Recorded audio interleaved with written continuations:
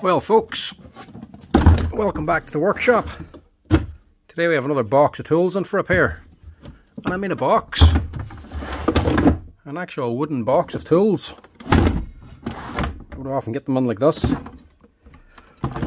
What have we got? An old Hitachi quarter inch router. An or that is an old one. A TR8 Never even heard of that one. Hitachi Koki Company Limited. And the rest looks to be all Makitas. Makita drill, brushless version. This is the 459. Caulking gun. Haven't actually had one of these on for repair yet. This is a DCG 180. Have to see what's wrong with that. Cordless saw Seen plenty of these on for a pair. And a battery. Working. Might just be the lock on this one. An impact driver. There's the older version. Only two brush motor on it. There's the 146. And then again, Makita Draw SDS DHR242.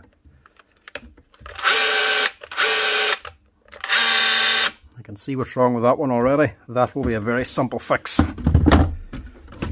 Right, we'll get started. We start off with the senior in the group, the old Hitachi.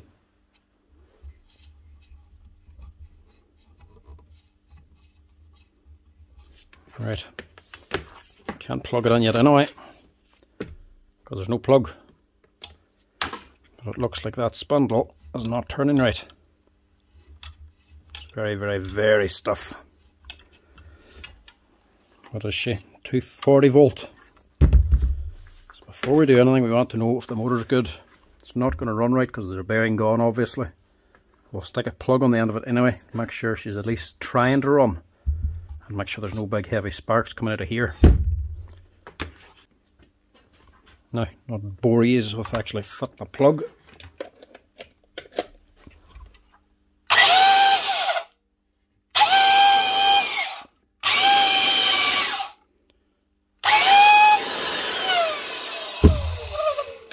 Right, she works and she's not sparking.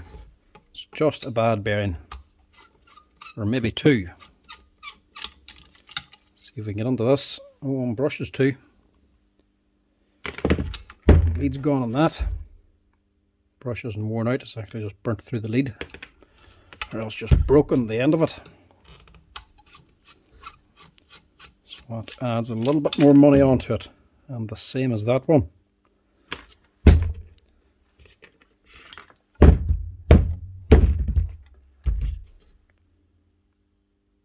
Could be they were jammed up in their holders, rusted on.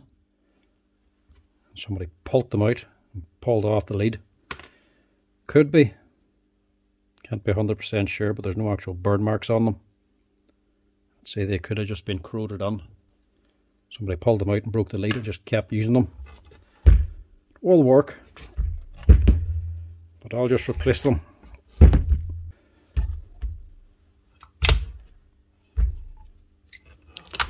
Right, easiest thing to do is take off the base first. Now, the easiest way to dismantle this is to take the base off first. Take the base off, you have to take off this here threaded guide rail here. Normally there are plastic nuts on the top and bottom, just for setting the height, fine tuning, you know. But they normally break off, so he's fit a dome nut here and a couple of lock nuts as well. Normally just pull this one off and run this nut the top because there's a lock nut You'll be sitting turning this thing for ages before you get that off. So the easiest thing is to slacken off the bottom one and remove it down here. Just a bit less unscrewing, it's a bit quicker.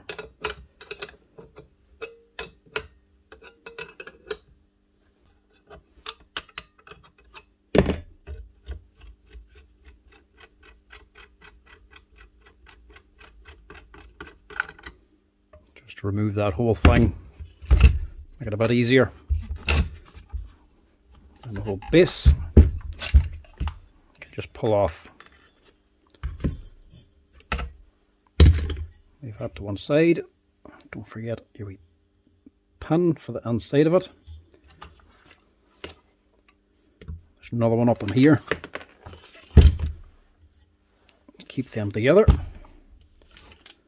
And you can unscrew it.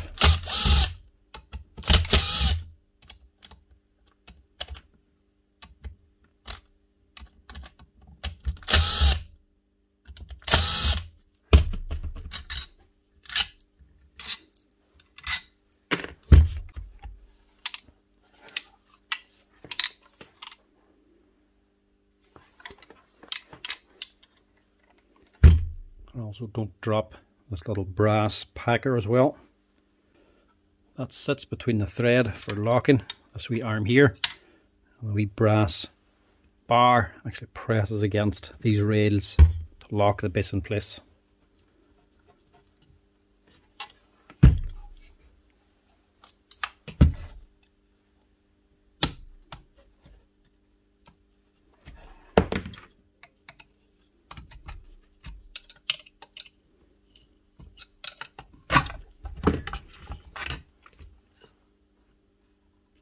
Is actually in good enough nick. You see that's done a whole pile of work. The motor's definitely not burnt either. So that one's on its way out. That's the bottom one here that's gone completely.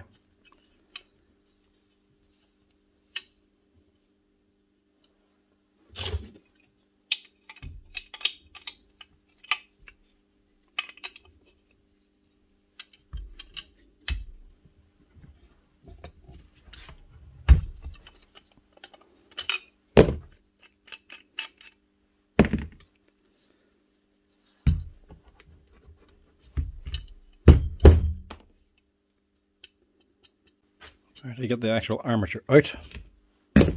Last thing you want to do is damage this thread here on the end of the armature. Otherwise you're never going to get your collet nut and butt back on again. So you have to press this out. If it's tight, you could easily damage the aluminium if you're using a bearing press. Plus it's hard to actually get this set up nice and level. Sometimes what you can get away with doing is using a center punch. Put the center punch on the hole of the armature shaft. Give it a wee tap. If it's not too tight, it should come out.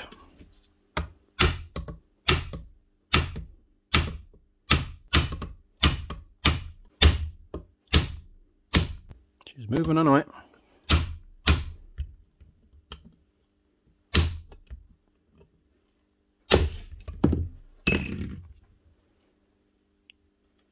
That's it you have to get this out first. Because the bearing is actually screwed on. So you can't press it out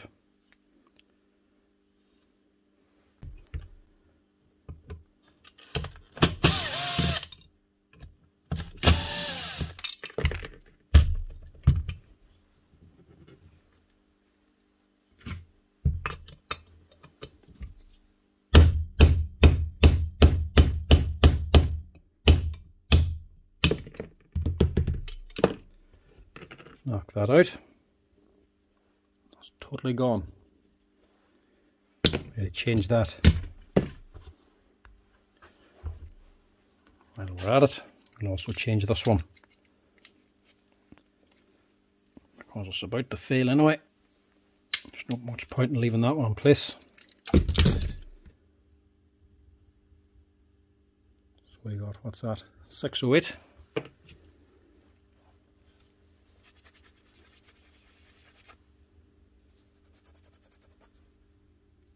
a 6200.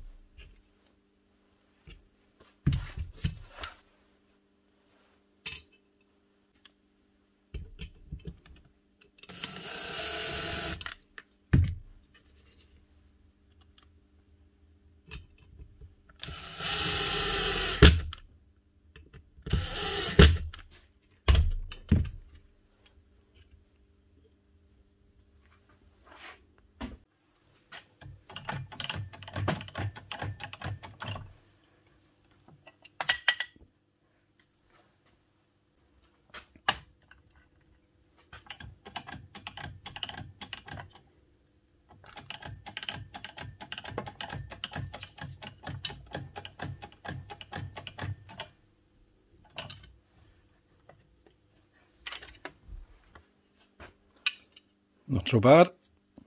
Fairly easy to change.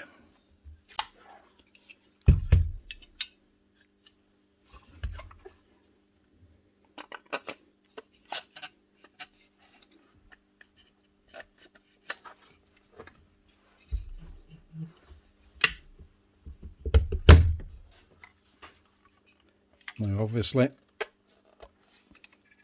the side with the handle on it has the scale for the depth gauge and this side has a lock symbol for the actual lock handle. But you can actually fit that either way. It'll go on either way but only one way is right.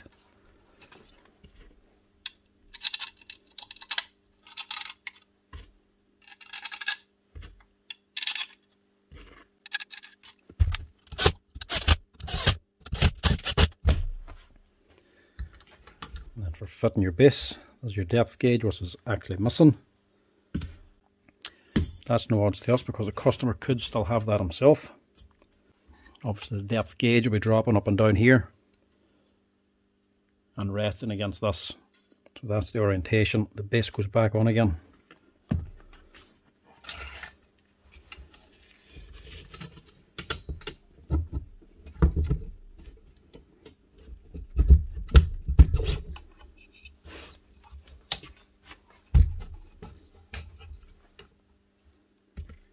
and to lock it you put this little brass insert back in again.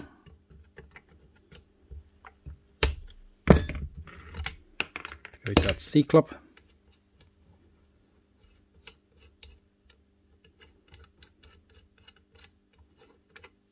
remove this nut. With the base held up in place. Drop on your wee brass insert. Then you can tighten it down and just have that arm sitting so it's nice and flush with here. So it's nice and comfortable to engage and disengage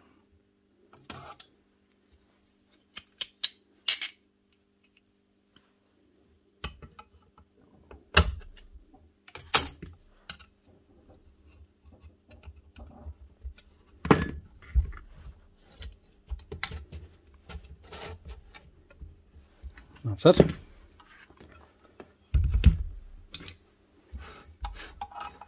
On your collet then.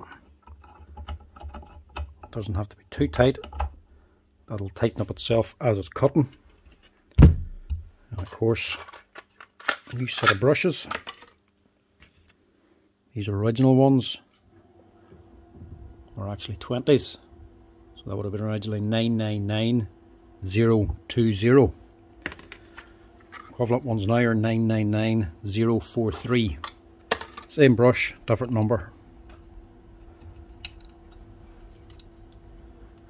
Drop them in.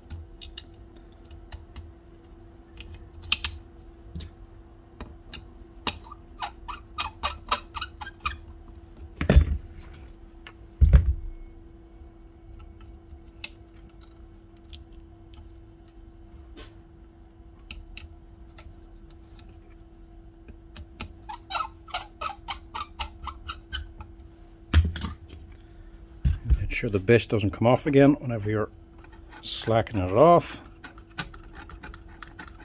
Put on your adjuster then.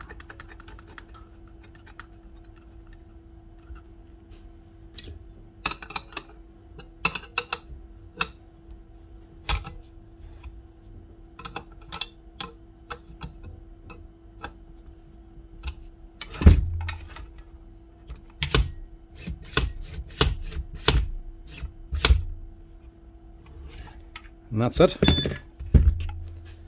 Hopefully she runs a bit smoother now.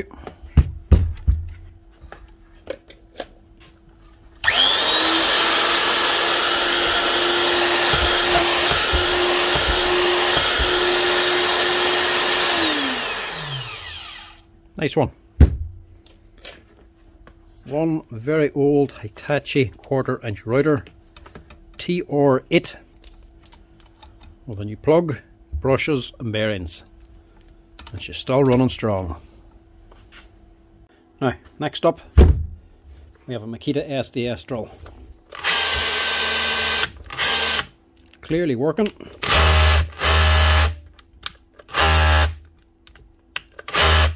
We can also see what the problem is. And that's a common one for the Makita. Chuck. The sleeve is jammed up and more than likely is not holding the butt.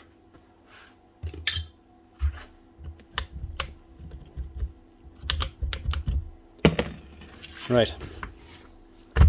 Two things can go wrong with these. One, the cap.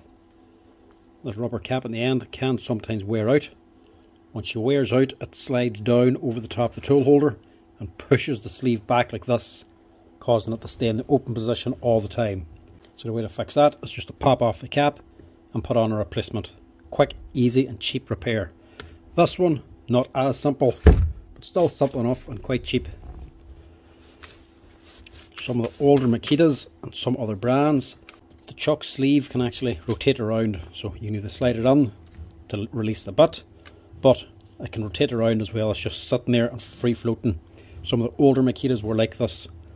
This here, some of the newer ones, especially this DHR 242, that is not the case. The chuck sleeve is actually an oval shape, there's two flat ends on it down around here so it can't actually rotate around what people end up doing.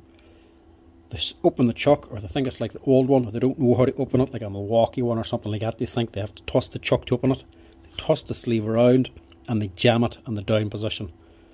Simple human error but it's only a cheap part other things that can happen is the chuck can bind up. If you're putting it a deep hole. And she binds up along the edge. This, this could have done because she is marked. Whenever she binds up that causes the chuck sleeve to stay in position while the chuck itself spins and spins out and rounds off the inside of the plastic sleeve. So this one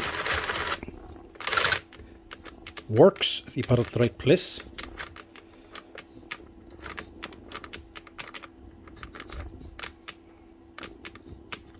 see there. That'll work now.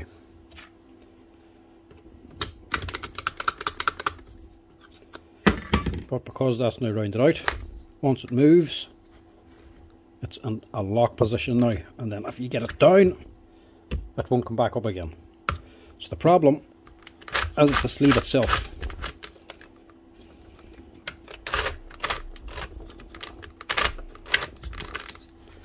And the way to fix it to just replace it because this one's old we'll also just replace this cap as well So the sleeve is held on by a C-clip down here and this cap is actually held on by this angled washer here which is then held on by a C-clip again. So you have to remove two C-clips to replace this. A pair of circlip pliers is all you need.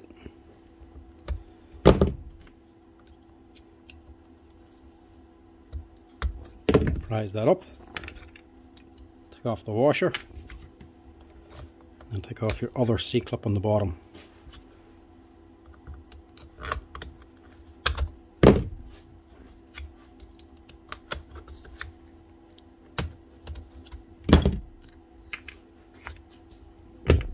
And on side you have a little rubber ring and a steel ring.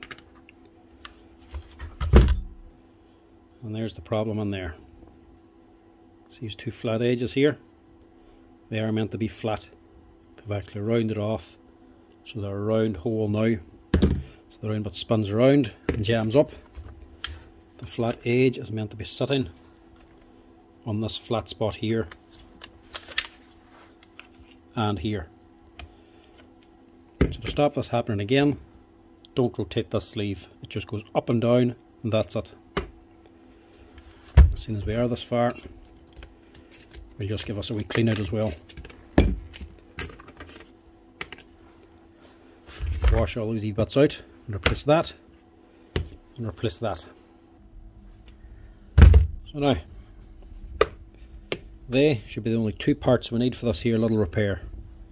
And if you're wanting to know what part numbers to order, they're actually written on the part themselves, underneath the actual cap. 2862888-8 and on the plastic sleeve itself it's written there also. 451533-2. They're the parts you need to order if you ever have this little problem. So first thing when you're rebuilding for any SDS or SDS Max chuck, we gobagoo. Make sure there's actually some grease in the tool holder.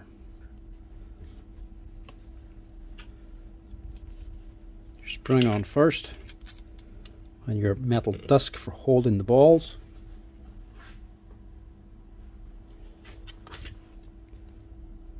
Balls just drop on then The disc holds them in place. Metal ring over the top of them. The actual chamfer side faces up. So this is the actual clamp that's actually holding your drill bit and the chuck. The balls that actually hold it in place and it's this that holds the balls in place. So whenever that's sitting up, the balls are sitting in here and they can't move further back so it locks them in position. Whenever you push the sleeve down, the balls are actually sitting inside the chamfer so they can move out. So whenever you put it down, the balls move out. You actually pull the chuck out, the balls just move out of the way. Whenever you release, whenever you then release it, this sits up and locks the two balls back in position. So that's on there. And there is our actual offending part. You can see in this one, she's round.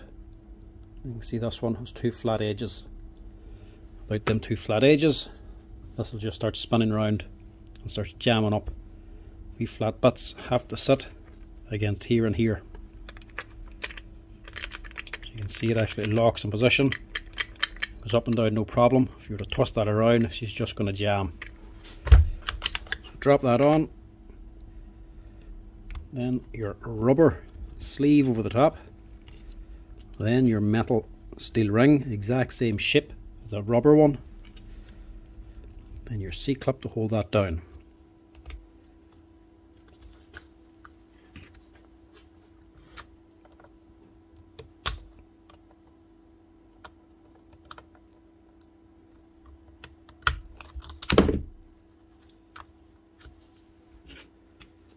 Hold the cap on, the rubber end, this metal washer goes on top.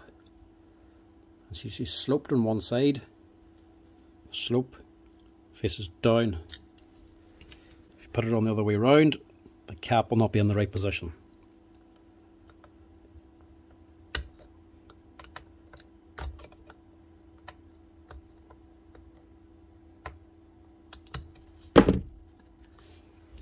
Clip that on push on your cap and you're ready to go nice, cheap and easy fix. But one you do see quite often, simply because that wee sleeve is not meant to rotate. And that cap can actually wear out on the top and sometimes force the sleeve down. But that generally happens because people are boring too deep. They're using too short a butt and trying to get it on too deep. So instead of stopping here, they're actually putting the drill butt, they're actually putting the front of the drill all the way into the concrete The concrete is wearing away the actual rubber cap on the end. That's what the rubber cap's for, to stop you hitting the tool holder underneath. But if you keep doing it, you wear this away as well. Eventually starts pushing everything down so the chuck stays in the open position. So, if ever I've bother with a Makita SDS drill, not holding the butt or locking the button position, there are the two butts you need to replace. The rubber cap and the plastic sleeve.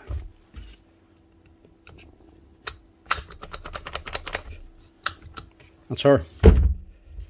Quick and easy fix. Now, next up, Makita skill saw. This one's running.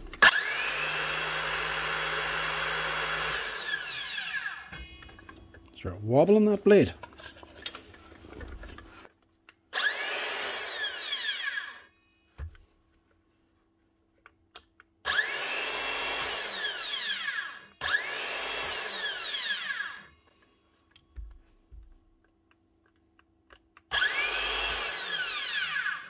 No. Look like it the way this dusk was actually shining there.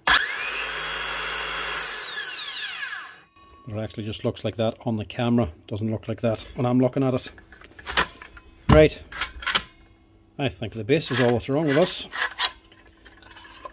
Guards working, obviously the motor's running, blades spinning, there's no missing teeth. Base isn't damaged, it's not bent or crooked.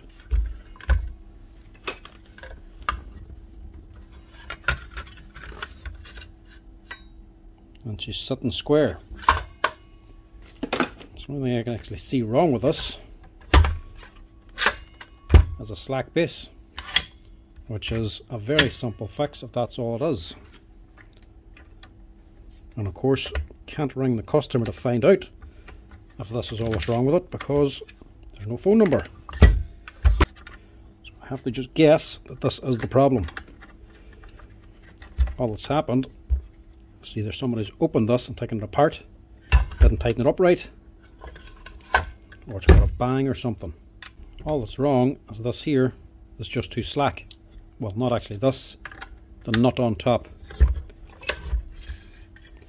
So this base just goes up and down and it's basically just a long bolt that actually bolts it down tight whenever you want to fix it.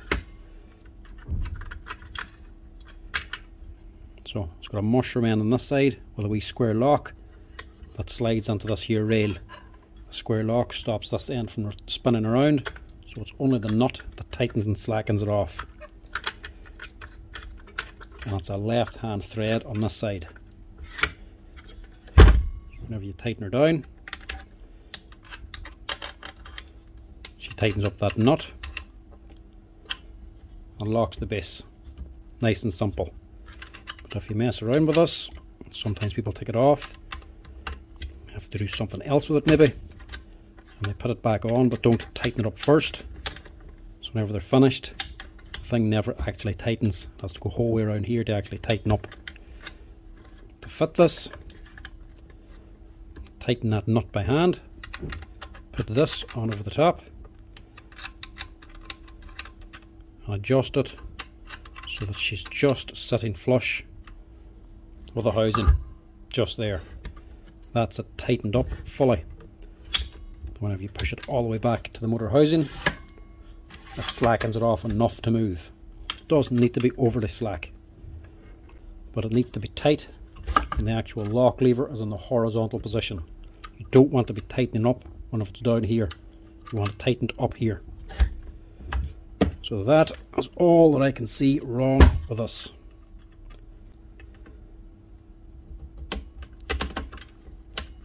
that handle is just held in position then by that C-clip. Very simple, very effective.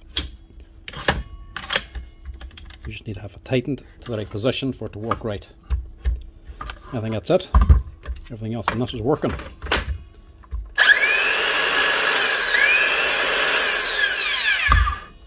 That's it. One Makita DSS 611 with a quick wee repair to the lock lever for the base. And it's not to say this is a very young machine. She's already 10 years old, 2014. She's done 10 years of work, obviously not a massive amount, but still, she's still running after 10 years, and that there is the only problem she has. That's not doing too bad, especially for an older brushed machine. So next up is the Makita Impactor, and again, this is an older one. The DTD 146 and she's a 2014 machine as well. So the saw was also 2014 and even that Makita SDS drill was 2016 so this boy's actually taking quite good care of these tools. He's not abusing them too much. What's wrong with this one? That doesn't sound good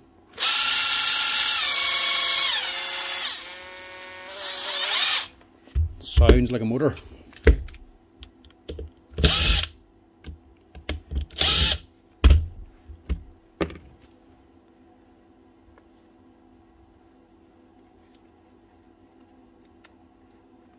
You can see the brushes are still making contact.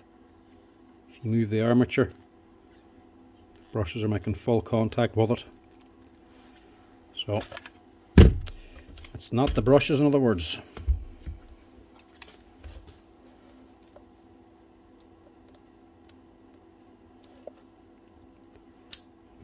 And see if we can do anything. Might even have an armature for one of these if we do need to replace it.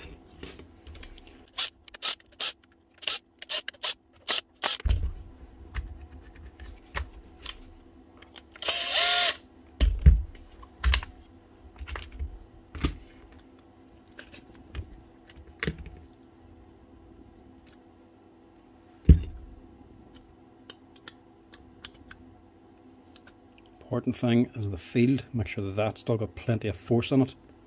Make sure the magnet hasn't got overheated heated. Or lost its strength. That one seems okay. The armature itself doesn't look bad.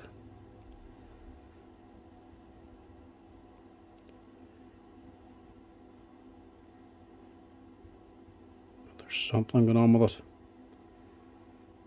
It's got plenty of use actually feel the com bar here.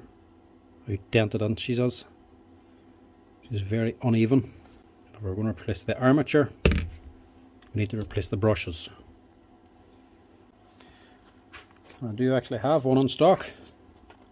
38.19 list price. So that thing looks like it's been lying here 10 years anyway. We'll have to see if we can do any better on that price. That's the part number there if you're ever looking for it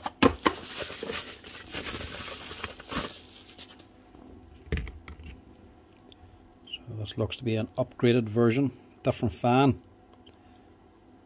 So that fan, a bit more rugged, but doesn't make as much flow. This fan here would actually produce a wee bit more airflow. Apart from that, everything's the same. Get rid of that. And stick it on here. Just in case. Put a wee dab of grease on there and I mean a little dab, about a pea size amount of grease. Do not put too much on. That's her.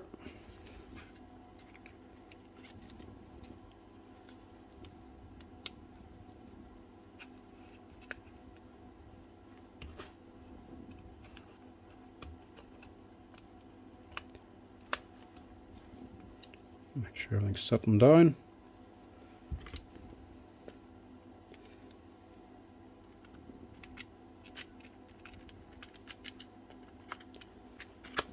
Not the most powerful impactor in the world, but if they're lasting 10 years, they're definitely reliable enough. Make sure your springs are back down. Brushes are engaged. Now probably a little bit expensive changing the armature on this thing, but still, it's going to be a lot cheaper than buying a new one. He was getting 10 years out of that last one. Could easily get 10 years out of this one.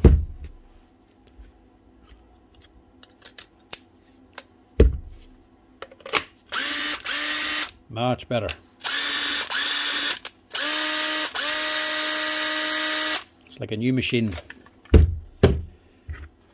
One new armature, one set of brushes, and a 10 year old Makita DTD 146. That's her. So next up is the brushless Makita drill. DHP 459 is actually a younger one, 2017 machine. What's wrong with it?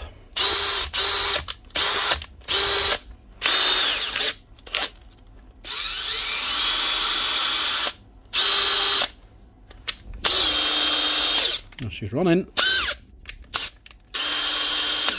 Chuck's working.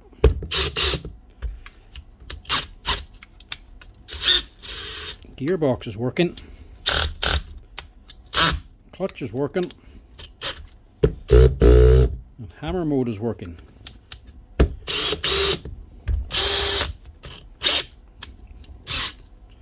What is going on with us?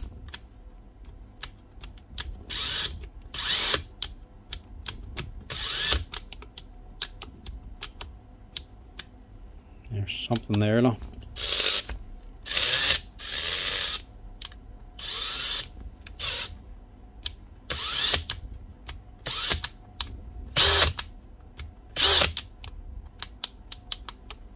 She's not always going on to first gear.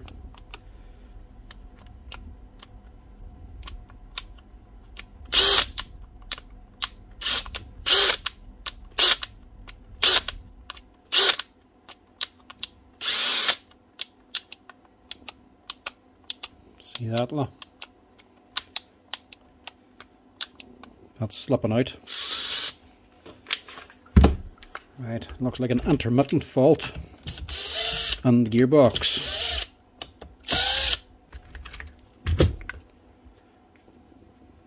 Not much in this one. Nicely laid out down here, mind you. Controller, all bullet connectors in to replace the field or the stator if you ever need to. So, in other words, if this breaks, your controller fails on you, it's not worth fixing. But if you need a rotor, stator, switch, battery contacts, they're all separate. About an all Makitas inside your gearbox, one solid piece. There's nothing actually available inside of the Makita gearbox, which has always been a big disappointment. Get that out of there. See what we can do with this. Straight away that's a bit of a bother as well. Because this change lever is only plastic and the actual springs for locating it are only plastic.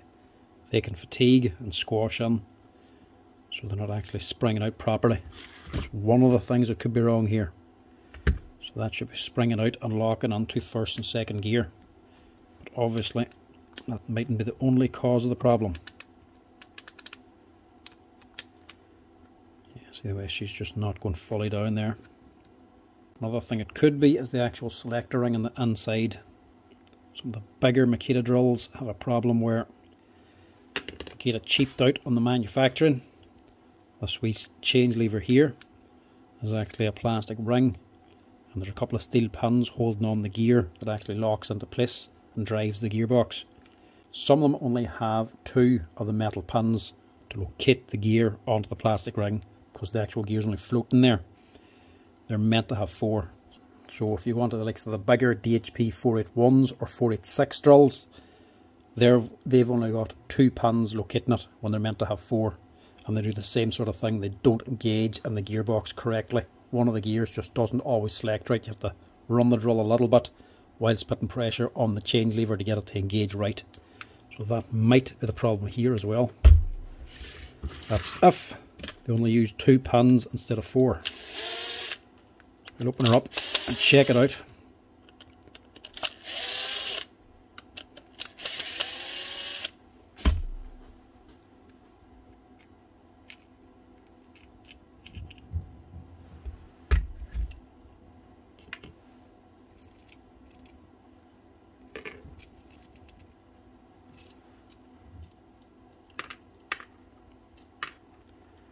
What I'm going to do like with this particular model It's metal gears. This metal gear here, these teeth on the outside, lock into this metal gear here. So whenever you put on the second speed, it locks this gear.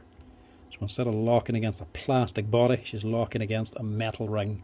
There's no way you're going to strip that out. It's a good design for a gearbox, and I actually like it for that reason.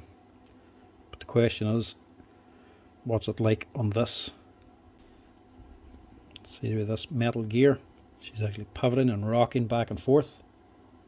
That's because there are the two pins that locate onto it. They locate around this track so the gear can still spin while sitting in position. Now the bigger drills actually meant to have four pins in it, like the really old original BHP drills. They had four pins in it, but the newer ones for some reason Makita only fitted two, even though there's a hole top and bottom for a third and a fourth one to keep this gear nice and rigid and stationary on the one plane. Question is, does this tick 4 or 2? There are the pins there, either side. Top and bottom then. There's no hole. So in other words, no. It doesn't tick a third and fourth pin. If it did, we could just take off this cover, pull out that selector ring and put on an extra pin. They're the exact same ones as the older BHP drills anyway. and I actually have them here in stock. But sadly, if there's no hole on this, there's no way to fit it. So it looks like this is just going to have to stay the way it is.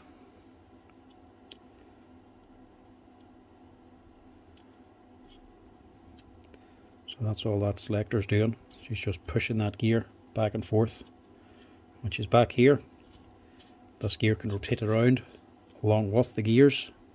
If you push it forward into second gear, it locks onto this ring here. So this gear is stationary and the planetary gears run around the inside of it. That gives you your two speeds.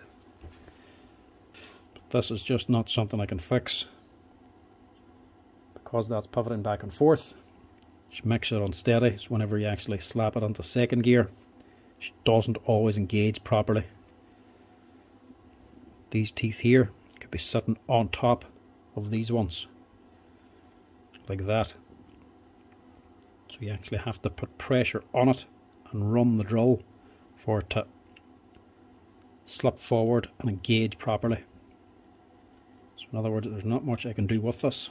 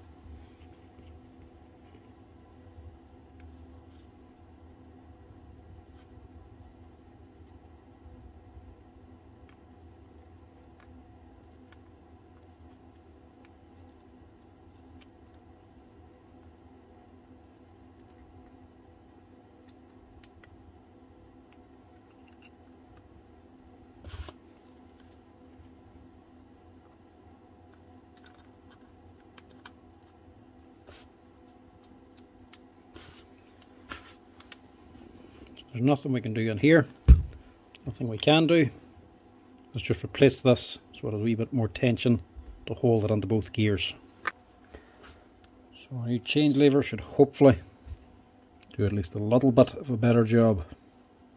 It's better than nothing.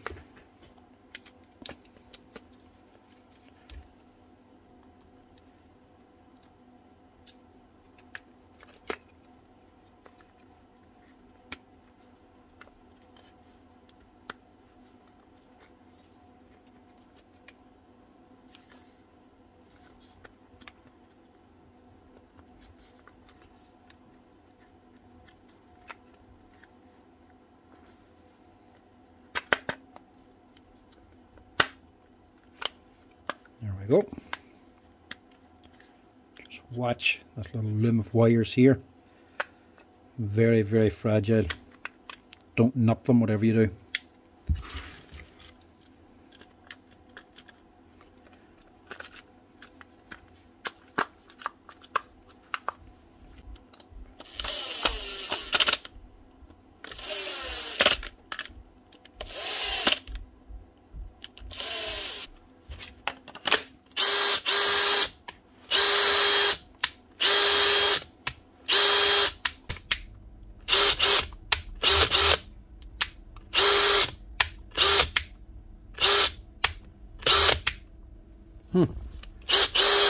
Might be better with the four pins in that gear. But changing that there selector actually did just as good a job. Just lock it on tight into position there now. Suppose if that's a slack fit and she's not engaging fully, she doesn't hold it all the way forward for whenever you pull the trigger for it to engage right. So if that's slack, she's going to go forward and slide back out again if it feels any resistance. Once it slides out, it's not going to engage whenever you pull the trigger. So that selector needs to be good and tight. A good lock on it to lock it forward in that gear. So whenever you pull the trigger, it actually engages that ring gear pro properly. So if you ever have the same problem, every now and again you pull the trigger and she's not engaging the gearbox, make sure that change lever there is not slack. That's working fine now. Didn't need to go into the gearbox at all. Just change that lever if you're ever any bother. That's another wee quick cheap fix. That wee part there only cost a couple of euro. That's another one. Now, last up for this lot is one I haven't worked on before. The Makita caulking gun. DCG 180. This is the must be the youngest of all the machines. 2020. What's wrong with this one?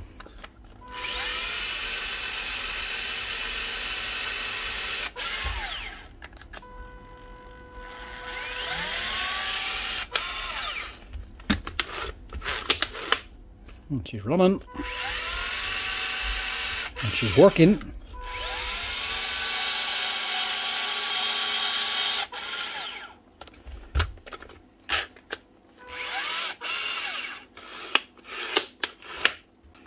Let's give her a wee test out and see what she's actually doing.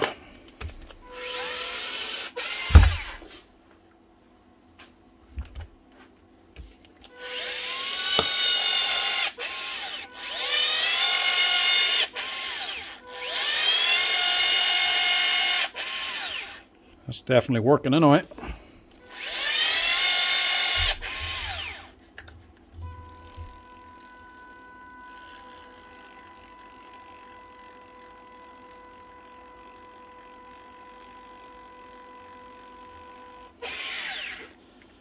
Thing wrong with that.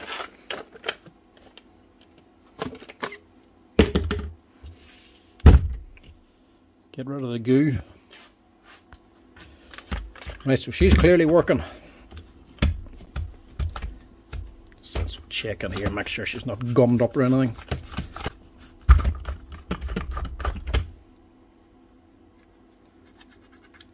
Yeah, a little bit, not much.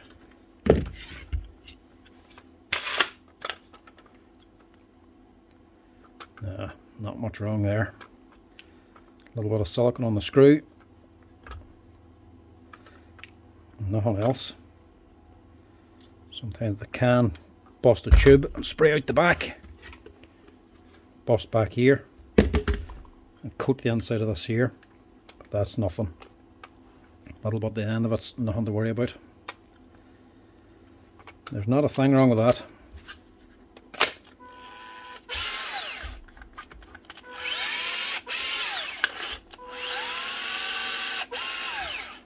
Going forward and she's backing off like she's meant to. And she's driving forward, she's got all the pressure. But once you let go of the trigger, you hear the motor actually wind back. That's not the pressure pushing the motor back, that's the motor actually running in the reverse. Once she goes in reverse, she frees up the mechanism so she can actually just move it by hand. So if you're halfway through a tube, you're whole way to the bottom, you can just pull back the handle, pull out the old tube, stick in a new one and just keep on going. Sadly, we're not going to get to open one today to have a peek inside. Can't justify opening it if there's nothing wrong with it. Don't actually know what that was sent on for at all.